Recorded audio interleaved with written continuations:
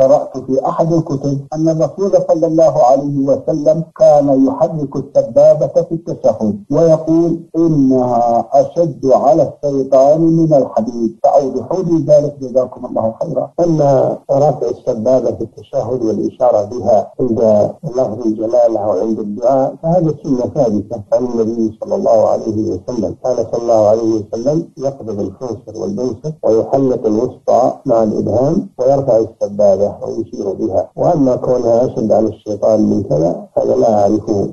واردا عن النبي صلى الله عليه وسلم. لا جزاكم الله خيرا.